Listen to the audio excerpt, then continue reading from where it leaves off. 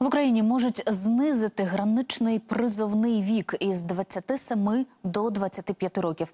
Відповідні зміни до законодавства вже напрацювали збройні сили спільно з Міноборони. Причини такого рішення пояснила заступниця міністра оборонного відомства Ганна Маляр.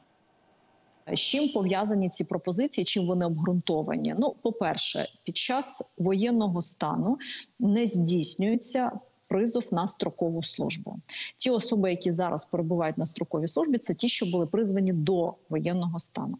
Відповідно, особи, які перебувають в цій категорії, да до 27 років, все одно продовжують е, щороку відвідувати в е, ТЦК, колишні військомати, і це створює фактично навантаження і на ТЦК, і це створює навантаження на медиків, тому що вони теж повинні проходити ще й медичний огляд.